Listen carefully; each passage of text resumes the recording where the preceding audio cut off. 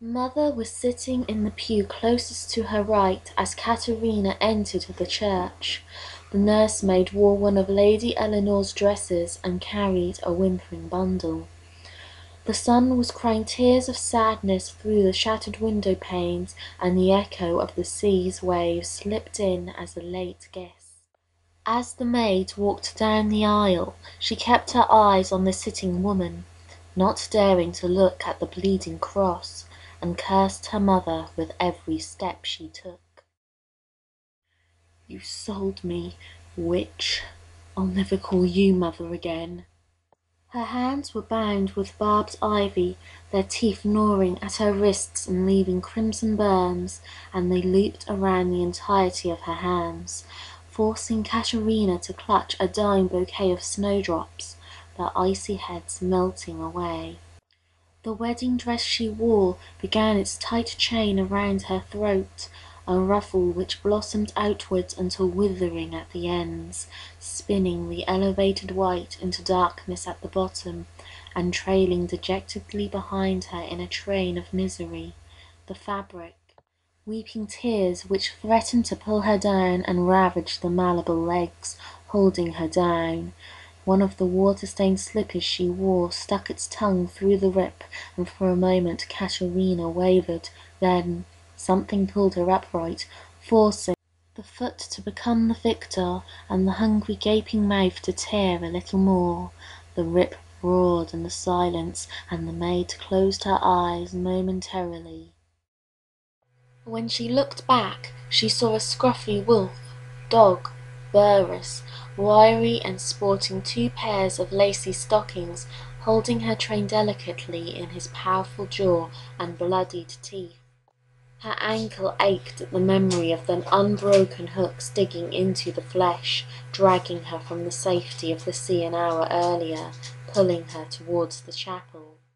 Perhaps he was asking for forgiveness. A soft, Fluffy warmth brushed her lower leg, and she glanced down. Isabella's dog. He scuttled beside her. He was dressed to be her partner in this ordeal. A similar black and white dress that was designed for a smaller body had been put on him. A string of roses were tied to his tail, and with each mournful wag one of them dropped to the floor. They shed a look, and in those milky brown eyes there was pity. Finally she stared forwards. Frederick stood before the cross, facing it, and a tremor of fear passed through her. She knew nothing about this man, whether or not he was violent or kind, cruel or misguided. Please, don't hurt me. Caterina was almost at his side, and now she had reached his guests. Goderic was in the place of a vicar, while Isabella and a favourite of her maids sat in a pew, cooing over how adorable her fairy children looked, while a scattering of Angelus servants watched from the back pews with her traitorous mother, who had offered up her daughter for protection of the mother. She stopped, and Frederick reached out for her hair, washed only by the sea after her imprisonment and ignored her flinch. "Catherine," Goderic began. Frederick glared at him. "Caterina!" the younger man coughed out. The other man shrugged his shoulders. "Caterina, you are about to be brought into the Angelus nocturnal family, which will grant you safety on Hellver Gate to be my son's wife. She did not meet his eyes, and instead stared down at the bouquet, for if she looked at him, then she would also see the cross and the body they had left there. "I don't want this," Caterina whispered. No one responded to her, and the only reaction she got was the slight, sad downturn of Frederick's lips. Goderic was picking up the two goblets and knife by his feet. With the joining of the blood your souls will mesh, and you shall both be man and woman, both Frederick and Caterina, from within. Frederick held out his arm and did not cry out when the blade sliced him. A red mouth appeared, which drooled out blood and spat into one of the cups. Katerina's arm was slowly, almost gently brought up by the anxious leader, and the tip of the knife wavered. Her trembling skin, it went in, though not as deep as Frederick's wound had evolved into, and two red-rimmed eyes blinked from the cuts, crying out a few teardrops into the silver goblet until they fell asleep, healed and congealed. The cups were switched from their positions and given to their respective drinkers. Frederick drank deeply even though there were only a few drops, while Katerina sipped distastefully at her river. She glared at her husband, wished he would die in that very moment, and sucked in another mouthful of thick blood. She intended to spit it at him. A hand slapped her back, causing Katerina to splutter and swallow it down. Her coughs coincided with Godric's speech, his arm snaking back to his side. You are now Katerina Angelus. You shall no longer be called maid or Khan. That family is dead to you for evermore. When her gasps had died down, aided by Frederick's coaxing and a worried palm rubbing her back, she saw the Angelus servants stand. Isabella herself arose with a pair of scissors and went to the bouquet, snipping it free.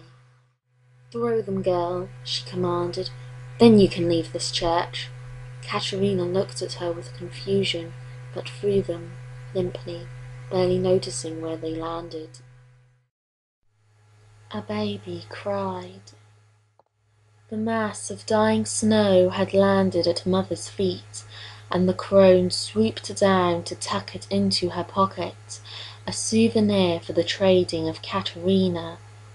The servants inched closer, and Isabella picked up where her husband had left off from.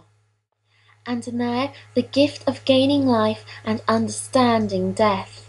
Katerina, you are now gifted with the mark of nocturnal, and so the vision of death must remain from within to remind you of this. Begin. She clapped her hands once, and the servants lunged, pulling and tearing at Katerina's mother, who shrieked and tried to thrust forward the crying bundle that she had give birth, give life to, so that they went for baby Emily instead of her. They pushed aside her outstretched arms and clawed, Another cry mingled with the newborn's wail. With harsh, desperate movements Katerina ripped at the ivy and wrenched most of it away. She covered her ears and ran into the crowd, using her whole body to push through the much stronger men and women, searching for her little sister. She made one arm fall down to twist and reach for the dirty linen Emily had been swaddled in, and found nothing.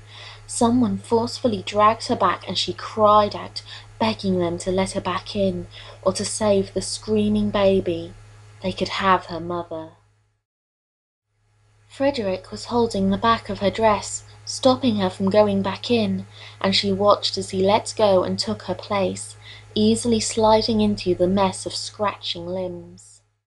Isabella was now holding her still, gripping her wrists painfully, and it was only when the servants dispersed that Katerina saw what had happened to her sister and mother.